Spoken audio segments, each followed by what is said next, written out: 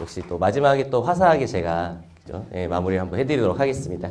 예, 저는 일단 지금 송림학원에서 이제 수학을 가르치고 있고 이제 사회화고 학생들 위주로 이제 예, 지금 수업을 열심히 집중하고 있는 강윤구라고 합니다. 예, 저희가 일단은 이제 수학 영역 말씀을 드릴 텐데요. 근데 정말 아쉽게도 국어랑 영어는 좀 도움이 될 수도 있을 것 같아요. 예, EBS에서 연계가 이제 확실하게 이어지니까 확실히 이 수업을 듣고 아이들이 이 문제 봤을 때 아, 이제 맞출 수 있다. 아, 이렇게 이제 강사님들께서 자신 있게 말씀드릴 수가 있는데 수학은 그렇지가 않습니다. 별로 EBS가 사실 크게 도움이 된다라고 제가 이렇게 자신 있게 말씀드릴 수도 없기 때문에 그리고 또 저의 컨텐츠 자체가 이제 뭐 여기에서 다 보여드릴 수가 없기 때문에 이제 그런 부분이 좀 아쉬운데 일단 최대한 어떤 식으로 그러면은 마지막 마무리 공부를 해야 되는가 네, 그런 걸 위주로 제가 짤막하게 이제 말씀을 드리는 걸로 하겠습니다. 네, 그래서 일단은 이제 모평 분석부터 한번 해보면요. 일단 6월 모의고사가 굉장히 어렵게 나왔습니다. 그래서 많은 학생들이 이제 겁을 먹고, 그 다음에 이제 21, 29, 30번 외에도 이제 나머지 4점 문항들 굉장히 어렵게 나오니까 비킬러 문제 많이 풀자. 아, 이런 컨텐츠 바람이 한번 불었던 것 같아요. 근데 그것은 솔직히 그냥 좀 오바스러운 반응인 것 같고요. 어차피 이제 수능 난이도가 거의 마무리로 가는 시점이기 때문에 갑자기 어렵게 나오거나 갑자기 쉽게 나올 것 같지는 않습니다. 그래서 지금 9월 모의고사 수준으로 나올 것 같고, 그래서 4점 문제, 물론 이제 21, 29, 30번 외에 이제 다른 4점 문항을 빨리 푸는 건 원래 중요했고, 그냥 원래 하던 것처럼 공부하면 마무리 잘 할 수 있을 것 같아요. 그래서 일단 난이도는 이제 구모와 비슷하게 나올 것이다. 그렇게 어렵지 않을 겁니다. 그래서 일단 그다음에 특징은 일단 킬러 문제 난이도는 하락이 되는 거는 맞습니다. 근데 이제 난이도가 하락된다는 건 이제 아이들이 정말 문제가 쉬워졌다 네, 이렇게 이제 말하기는 어렵고요. 봤던 유형들이 많이 나오는 거죠. 그래서 이제 수능에 더 이상 새로운 문항을 만들 만한 아이디어가 사실 많이 없어요. 그래서 논술 문제나 구술 문제 같은 경우에 이제 나왔던 뭔가 색다른 문항들 이런 것들이 이미 다 수능에 반영이 됐기 때문에 색다른 문항이 나오지 않는다. 그렇기 때문에 킬러 문제가 조금은 쉽게 느껴질 수 있다.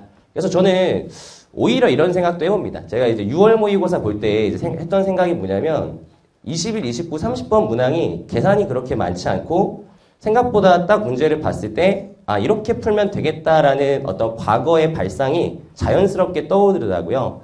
그래서 생각보다 21, 29, 30을 버리기보다는 공부를 과거의 기출문제로 확실히 해서 유사한 문제가 나왔을 때는 한번 빠르게 공략하는 것도 좋은 전략이 될 수 있다. 그래서 원래는 이제 사문제 버리고 가는 친구들 많은데 이제는 버리지 않아도 되지 않을까 네, 그렇게 이제 한번 생각을 해보고요. 비킬러 문제는 이제 난이도가 상승했다기보다는 이제 학생들이 사실 공부를 좀 제대로 못하는 친구들이 많아요. 그래서 이제 뭐 이것도 뒤에서 또 다시 말씀드리겠지만 너무 새로운 문제를 많이 찾습니다. 특히 이제 재수생들은 수능을 한번 보지 않습니까? 그 과거의 경험 때문에 아, 이게 새로운 문제, 뭐 시대인재 모의고사나 이런 것들이 실제로 수능에 크게 도움이 많이 되지 않는구나라는 걸 많이 깨닫고 기출문제를 정말 많이 봐요. 그래서 저가 가르쳤던 이제 작년에 가르쳤던 재수생 친구도 처음에는 처음 수능 봤을 때는 이제 뭐 300 몇 점 맞고 이제 서강대 공대도 못 갈 점수가 나왔는데 재수에서 이제 연대치대를 갔거든요. 근데 그 친구 같은 경우에 시대인재 모의고사 한 번도 안 풀었어요. 재수할 때. 무조건 기출만 보고 그다음에 저랑 수업했던 것만 하고 딱 그것만 하고 이제 수능 가서 이제 96점 맞고 이제 연대치대에 갔는데 그 친구도 이제 그런 얘기 학생들도 이제 그런 경험을 되게 많이 얘기해요. 그래서 특히 마무리되는 시점에 새로운 문제 찾는 사람들 없겠죠. 그죠? 어차피 지금 푸는 문제 머리에 들어오지도 않고 많은 학생들이 들떠서 그냥 지나가는 그런 시간으로 보내는 경우가 정말 많습니다. 그래서 아, 이렇게 기출 유형을 확실하게 익히는 게 비킬러에 훨씬 도움 많이 돼요. 그래서 뭐 6월 모의고사 비킬러 어려웠다고 하는데 사실 신유형은 한 문제도 없었습니다. 학생들이 많은 착각을 하고 있는 거예요. 자기들이 못 봤던 문제가 나왔다고 생각하는 건 과거의 기출 문제를 확실하게 정리하지 않았기 때문이지 문제가 새로운 건 아니다. 그래서 아, 비킬러 난이도가 상승하고 이제 킬러 난이도가 하락하고 이런 거는 기출 반복 때문인데 기출 반복을 안 해서 그렇다. 그래서 이제 그런 것들로 마무리하는 게 이제 가장 중요하겠죠. 그래서 4점 유형이 확실하게 이제 계속 나오던 것만 나오고 있어요. 그래서 이제 뭐 가형 같은 경우에 뭐 상학함수의 극한만 예로 들었는데 그게 아니고 이제 뭐 덧셈 정이라든가 뭐 기타 이제 2차 곡선 정이라든가 원래 나오던 유형들은 확실하게 나오고 있다. 그래서 이런 컨텐츠들은 제가 그 교재에 넣어놨거든요. 그래서 어머니께서 지금 이거 찍으실 필요 없고 어차피 그 교재에 이제 어떻게 풀어야 되는지까지 제가 문제 푸는 방법도 정리를 좀 차분히 잘 해놨습니다. 그래서 그 문제 푸는 방법을 한번 읽어보고 아 내가 이런 식으로 체계적으로 정리라는 게 필요하겠다. 예, 이 정도 이제 생각하고 이제 시험 보러 가게 하시면은 될것 같아요.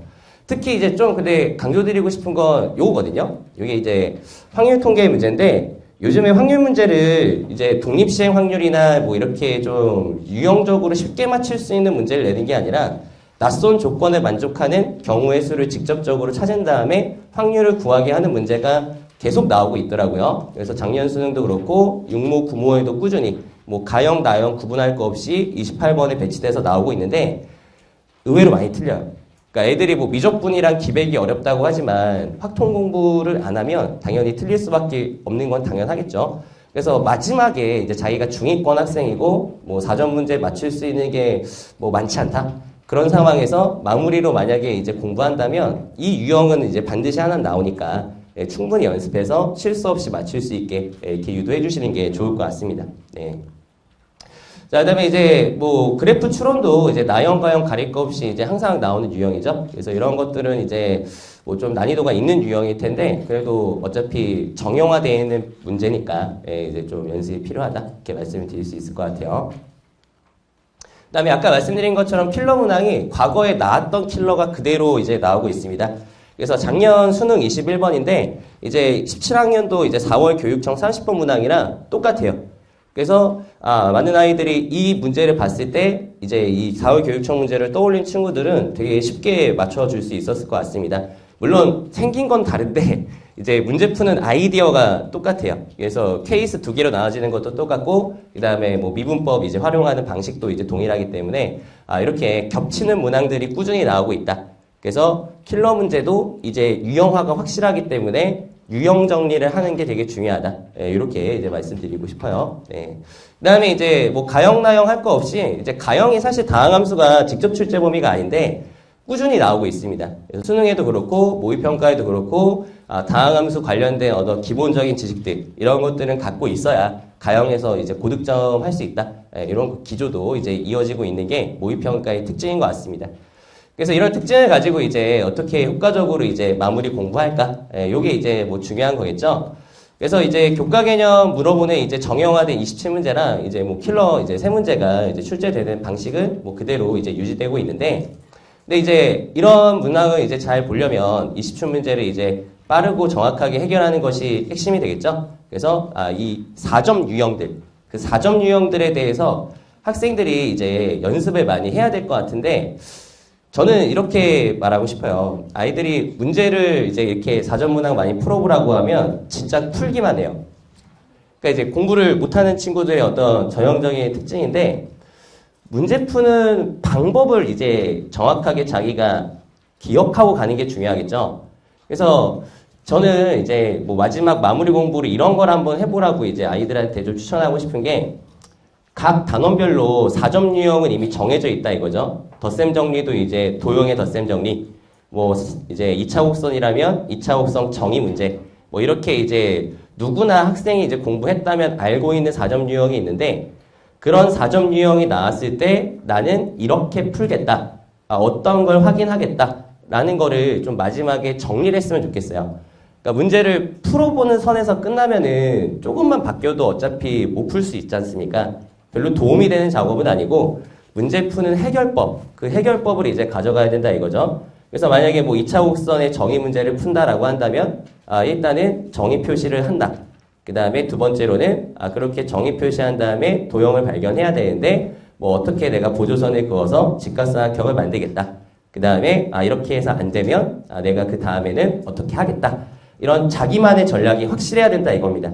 그래서 오늘 이제 댁에 돌아가신 다음에 문제 뭐 이런 거를 이제 뭐 맞출 수 없으니까 뭐 문제보다도 너는 이 단원 문제는 어떻게 풀래? 라고 학생한테 물어봤을 때 학생이 아직 그런 것에 대해서 정확하게 대답을 못한다면 그 학생은 지금 문제를 풀 게 아니라 자기가 풀어봤던 문제들을 쭉 모아서 아, 내가 이렇게 풀 거다라고 이제 열흘 동안 정리하게 시키시는 게 최고예요. 뭐 모의고사 지금 푼다고 그게 자기게 되겠습니까? 그래서 A4 용지에다 아니면 이제 빈 종이에다가 자기가 머릿속으로 생각을 해서 아, 지수로그는 어떤 유형이 있고 이 유형 내가 어떻게 풀 거야 라고 다 쓰게 하세요. 그리고 수능날 그거 들고 가게 하시면 돼요. 수능날 뭐 들고 가야 될지 모르는 친구도 되게 많잖아요. 그래서 뭐 바리바리 뭐 이제 책을 싸들고 갑니다. 뭐 뉴런도 들고 가고 뭐 다 들고 가요. 그거 15분 만에 어떻게 봅니까? 말도 안 되는 얘기거든요. 근데 유형별로 내가 어떻게 풀겠다라고 이렇게 딱 정리한 거는 이렇게 한 두 장 정도 나올 거예요. 아마 이제 이과 수학도 많이 나오진 않습니다. 유형이 어차피 한 많아봐야 20개 정도밖에 안 되거든요. 그럼 그거 이렇게 앞뒤로 보면은 뭐 쉬는 시간 동안에 충분히 자기가 어떤 식으로 이제 문제를 풀어왔는지 그간에 공부했던 어떤 내공들을 이제 다시 한번 짤막하게 다 떠올릴 수 있겠죠. 그거 베이스로 이제 차분하게 문제 풀게 시키시면 되는 거거든요. 그래서 아, 이렇게 어차피 나왔던 거또 나오니까 새로운 문제 좀 풀게 하지 마시고 예, 이런 식으로 마무리하게 시키는 게 최고의 공부 방법이다. 그래서 이렇게 시간 단축을 위해서 이제 킬러 문항 푸는 이제 시간을 확보해야 되는데 그렇게 체계적으로 정리하고 가면은 분명히 시간이 남을 거예요. 그렇게 남은 시간 동안에 이제 킬러 문제 잘 보면 적어도 92점 누구나 다 맞을 수 있는 점수라고 저는 생각합니다. 그래서 이제 기출과 EBS를 반복하는 게 이제 아까 말씀드린 것처럼 새로운 문제에 적용 가능한 일반 원칙을 이제 만들어내는 작업이라 이거죠. 그래서 아 이렇게 그냥 풀고 끝내지 마시고 그래서 저는 사실 EBS는 별로 추천드리지 않습니다. 그래서 미적분이랑 기백을 뭐 EBS 푼다고 와이 문제 나왔어 뭐 이런 느낌을 뭐 받아본 적도 없을 거고요. 저 앞으로도 그런 일은 생기지 않을 건데 확통 정도만 풀게 하시면 될 것 같아요. 그 다음에 이제 뭐 아이가 좀 시간이 좀 부족하다면 이제 뭐 3개년 기출, 그 다음에 좀 여유가 있으면은 이제 한 5개년, 6개년 기출 문제를 다 모아서 아, 자기가 이렇게 새로운 문제에 가능한 일반 원칙을 만들게 예, 이렇게 시키는 게 기출 분석, 기출 뭐 정리거든요. 그래서 이런 것들을 이제 점검하자 아, 이렇게 이제 말씀드리고 싶네요. 그래서 이렇게 기출문제 재해석하고 행동규칙에 대해서 체크리스트 만들고, 그 다음에 그거를 이제 적용, 보완, 연습하는 걸 이제 남은 열흘 동안 하시면 되는데, 마지막은 못할 수도 있을 것 같아요. 그래서 뭐 자기가 최상위권이다. 라고 하면은 이제 마지막 작업까지 갈 수 있는데, 못해도 이제 두 번째까지는 자기가 어떻게 문제 풀어야 되겠다라는 전략 자체는 만들고 가야 된다는 거죠. 그래서 그것에 대해서 이제 한번 예를 보여드리면 이런 겁니다. 그래서 이거 나오면 이렇게 할래. 라고 이렇게 다 정해놓는 거죠. 그래서 만약에 함수 관계식이 나왔다. 아, 그러면은 함수 관계식이 있을 때 항수, 항등식이니까 뭐 적, 미분하고 대입해서 이렇게 할 수 있어. 아, 이게 발문이 적분이면 항등식을 적분하여 적분값만 구하면 돼. 아니면은 아, 내가 부정적분 이용해서 아, 니면 내가 이거 함수 구할 수 있어. 뭐 이런 식으로 이제 딱 어떤 표현 나오면 해야 될 건 어차피 정해져 있거든요. 그러니까 그런 것들을 학생들이 이제 마지막에 딱 정리해 놓으면 수능날 아 이거 나오면 요거 하면 돼 라는 어떤 딱 대응되는 관계가 만들어지면서 아이들이 좀 긴장을 덜 할 수 있을 겁니다. 그래서 좀 저는 문제를 좀 기계처럼 푸는 게 되게 중요하다고 생각을 해요. 그래서 이런 거 없이 그냥 뭐 그냥 뭐 연필 들고 가가지고 수능 잘 볼 수는 없지 않습니까? 그리고 실제로 뭐 제 자랑인데 함수 관계식 발문이 나오면은 적분하면 돼라고 해가지고 6월 모의고사 30번이 적어였거든요. 저희 제가 고, 고3을 한 35명 정도 가르쳤는데 32명, 아, 28명 정도가 맞췄어요. 그래서 쉬워요. 예, 쉽습니다. 그래서 이렇게 딱 어떤 표현당 해야 되는 것만 좀 잘 정해주면 누구나 잘 보거든요. 근데 뭐 그런 것들을 뭐 제가 이제 뭐 수업을 한 게 아니기 때문에 지금 다 정리해서 뭐 드려봤자 학생이 그거 보고 이해는 못하니까 자기 강사가 이제 가르쳐 준 게 분명히 있을 거예요. 물론 정리는 안 해줘요. 선생님들이 저는 좀 이제 그런 게 요즘 선생님들이 좀 부족하다고 생각하는 건데 이렇게 딱 정해줘서 이제 아이들 암기시키는 작업을 잘 안 해주거든요. 근데 학생이 열흘 정도면 할 수 있어요. 그래서 자기가 배웠던 교재들 보면서 아, 이런 얘만 봐도 아마 학생들은 이해할 거예요. 뭐 해야 되는지를 공부를 이제 어느 정도 했을 테니까요. 그래서 그거를 이제 자기가 정리해서 수능날 예, 발휘할 수 있도록 예, 도와주시면 될 것 같습니다. 네. 자, 그 다음에 이제 제가 또 강조드리는 게 아까도 말씀드렸지만 경우의 수랑 확률이 오답률이 되게 높아요. 그러니까 아이들이 뭐 쉽다고 생각하고 되게 무시하는데 오답률 5위 안에 항상 꼭 들어갑니다. 아무리 공부를 잘해도 이것 때문에 이제 점수 깎이는 경우가 되게 많아요. 근데 아까도 말씀드렸지만 이런 확률 문제는 EBS 연계가 좀 체감이 되는 경우가 있어요. 되게 많거든요. 그래서 아, 이렇게 확통 경우는 이제 EBS를 좀 풀게 하시는 게 유리할 수 있다. 뭐 기출 정리보다는 이제 EBS에서 나오는 유형들을 좀 잘 정리시키자. 예, 이렇게 이제 제가 말씀드릴 수 있겠습니다. 자, 그 다음에 이제 낯선 표현이 포함된 아까 고난도 세 문제인데 이게 난이도가 아까도 계속 말씀드리지만 쉬워졌어요. 그래서 포기하지 않는 게 좋을 것 같아요. 특히 뭐 21번이나 30번은 뭐 포기할 수도 있겠지만 기하 벡터는 포기하면 안 됩니다. 이 29번은 맞출 수 있어요. 어차피 공간 도형에서 벡터 이용하는 문제 나올 거거든요. 그 다음 벡터 공부만 하면 되니까 기출로 나왔던 거 벡터 문제들 좀 다시 한번 풀어보면서 뭐 연산 아니면은 자체 방정식 구하는 유형 딱 두 개니까 두 유형 정도 이제 확실하게 이제 공부하고 가면은 충분히 대비가 됩니다. 그래서 29번은 확실하게 공부를 하고 가자. 그죠? 네, 그 다음에 이제 좀 더 여유가 되면 최근 나왔던 21, 29, 30번 문제를 다 모아서 좀 다시 한번 이제 정리하고 네, 이렇게 하면은 공부 많이 될 것 같습니다. 제발 당부드릴 때 이상한 거 그러니까 물론 이제 나는 고정 100점이다, 고정 96이다 하면은 뭐 새로운 문제 좀 풀어보는 게 좋을 수 있어요. 근데 뭐 그런 게 아닌 이상 예, 그냥 자제하고 예, 기출 문제만 기출 문제만 이렇게 계속 보시는 게 훨씬 더 도움 많이 될 겁니다. 그죠? 그래서 이상한 왜냐면 시험 볼 때 이런 친구들이 많거든요. 이상한 문제 보면 수능 보러 가서 이상한 생각을 해요, 실제로. 그러면 이제 점수가 안 나오거든요. 그러니까 그런 부분들을 이제 좀 간과하지 말고 예, 저희가 좀 나왔던 문제 실제로 나올 수 있는 문제만 기출로 이렇게 이제 보시면 될 것 같아요. 그래서 최소한의 문제로 정근법, 접근법을 확실하게 좀 점검하고 이제 연습할 수 있게 이렇게 좀 유도해 주시는 게 좋을 것 같습니다. 그 다음에 이제 모의고사는 시간 활용 연습이 목적이다. 이거는 사실 만고불변의 진리인데 사실 요즘에 이제 모의고사 수업이 되게 많죠. 근데 모의고사를 푼다고 사실 성적이 오르는 건 아니에요. 뭐 그럴 거면은 뭐 다들 100점 받았겠죠 이미. 그렇죠? 다들 모의고사 하고 다니는데 그러니까 모의고사는 그냥 시간을 재는 연습을 하는 거죠. 근데 많은 아이들이 시간 연습은 별로 안 하고 거기에서 나오는 문제를 어떻게 풀어야 될지만 고민을 하는 경우가 많아요. 그래서 어떤 전략을 갖고 내가 시간 배분을 할 것인가. 사실 수학은 이것도 되게 중요하거든요. 설마 뭐 1번부터 쭉 푸는 친구들은 없을 겁니다. 그죠? 네, 그래서 3점을 먼저 풀고, 그 다음에 그 3점 푼 다음에 자기가 4점은 또 어디부터 풀고, 뭐 이런 것들이 좀 이제 전략적으로 갖춰져야 될 것 같아요. 그래서 뭐 예를 들면 이런 거죠. 뭐 자신만의 이제 체크 포인트를 완성하는 게 중요하다는 건데 뭐 저도 이제 예전에 수능을 봤으니까 이제 뭐 저는 이제 수능 봤었을 때 1번부터 뭐 13번까지는 15분 안에 풀자. 그 다음에 이제 뭐 주간식 22번부터 몇 분까지, 몇 번까지는 몇 분까지 도달하자. 그 다음에 이제 뭐 몇 번은 몇 분 배분하고, 몇 분 배분하고, 이런 거를 이제 뭐 저만의 약간 계획으로 다 세워놓고 이제 수능을 보러 왔었거든요. 그러니까 학생들이 근데 그런 생각을 좀 많이 안 하는 경우가 많아요. 그래서 그런 자기가 정한 시간이 오바되면 그 문제 지나가고 이렇게 깔끔하게 지나가는 게 좀 연습이 돼야 되는데 실제로 모의고사 보면서 그런 연습은 많이 안 하더라고요. 그래서 버리는 연습. 딱 시간 정해놓고 지나가면 그 버리는 연습을 이제 많이 시켜야 되고 그래서 어머니들께서도 못 푸는 문제 좀 이렇게 지나갈 수 있게 괜찮다. 어차피 네가 모르면 남들도 모른다. 예, 그런 거를 계속 강조해주면서 이렇게 넘기는 연습 많이 시켜주시기 바랍니다.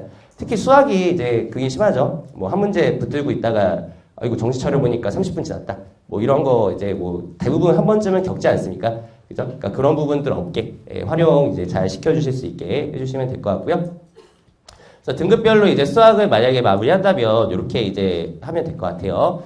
일단 내가 이제 중하위권이다 한다면은 뭐 어차피 문제를 많이 볼 수 없는 상황이에요 지금 그죠? 예, 그러다 보니까 뭐 기출 문제라고 하더라도 뭐 최근 진짜 한 2개년 어차피 2개년도 사실 뭐 충분하기 때문에 예, 2개년 기출 문제 좀 보게 하시고 그다음에 EBS 연계유구 이제 풀었던 거 이제 반복하게 그래서 이제 자기가 맞출 수 있는 유형만 좀 청정하게 암기하고 가는 식으로 해서 이제 문제 이제 공부하시게 하면 될 것 같고요.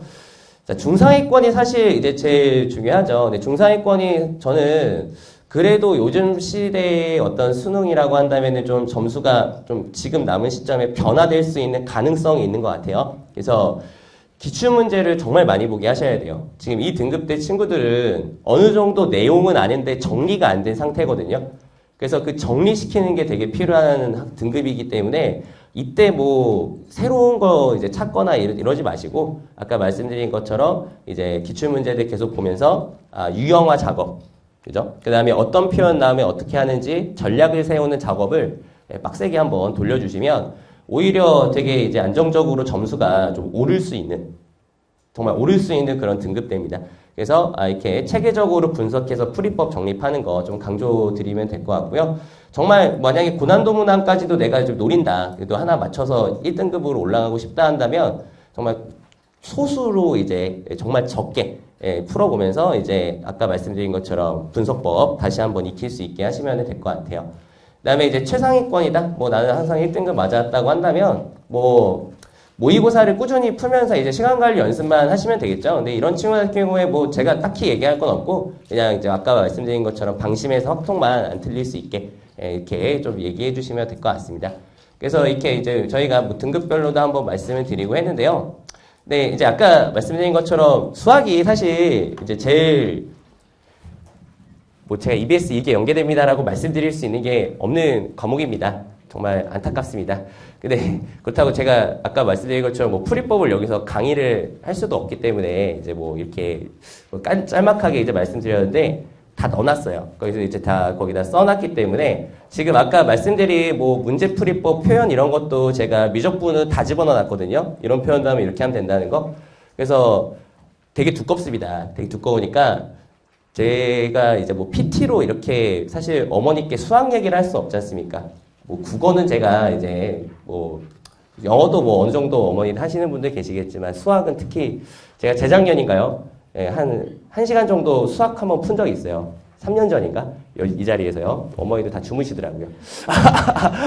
그래서 제가 오늘은 그냥 다 이렇게 그냥 깔, 짤막하게 이제 그냥 예, 뭐 어떻게 대비해야 되는지 대입법 위주로 말씀드렸는데 그 자료를 꼭 보게 하시면 좋을 것 같아요. 자료를 보게 하시고 문제를 보지 말고 거기에 풀이법을 보게 하세요. 그래서 아 이런 식으로 정리를 했구나. 아 이 사람이 그래도 이렇게 하는 거 보니까 뭐 이거 대로 풀라는 게 아니라 나도 그 방향성 맞춰서 이렇게 정리할 수 있겠다라는 방향성 세울 수 있거든요. 그럼 그거 가지고 이제 열흘 남은 기간 동안 예, 제 의도대로 좀 정리해주고 가면은 그리고 시험장에 그거 들고 가게 하시면 충분히 점수가 안정적으로 오를 수 있는 흐름을 갖고 있어요. 그래서 어머니들께서 그거 좀 계속 강조를 좀 많이 해주세요. 그거 강조는 이제 어머니도 자신있게 하실 수 있을 테니까, 아, 강사가 그렇게 하더라 라고 이제 좀 얘기해 주시면 좋겠고요. 만약에 이제 뭐 관심이 있으시면, 뭐 동생이 있으실 수 있으니까, 예, 만약에 이제 속림학원에 강윤구를 한번 찾아주시면, 이제 반응이 뜨겁습니다. 예, 아이들이 이제 4등급 맞던 친구가 세하고등학교에서 막 이제 1등급, 15등 뭐 이렇게 점수가 오르면서 지금 이제 저에 대한 관심이 폭주하고 있거든요.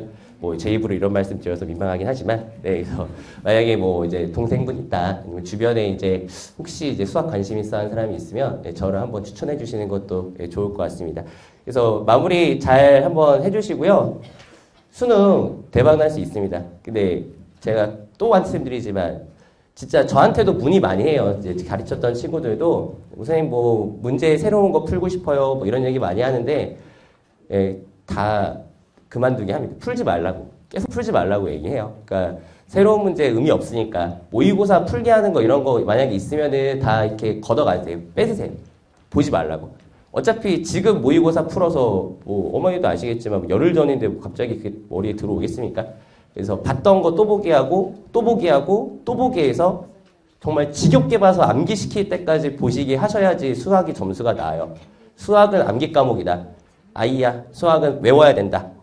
풀이법 외우고 암기해야 된다는 거 강조하시면서 마무리 시키시면은 좋은 결과 있을 겁니다.